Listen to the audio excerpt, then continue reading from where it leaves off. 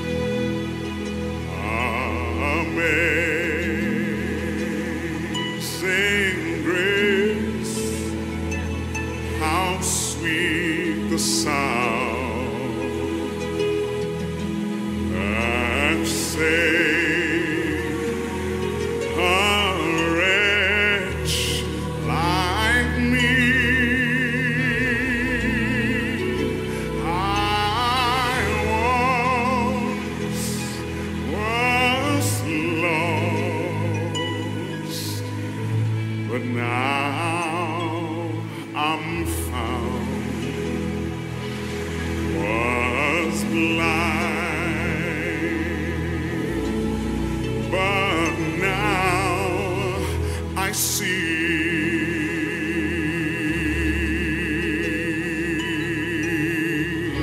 And when we've been there ten thousand years.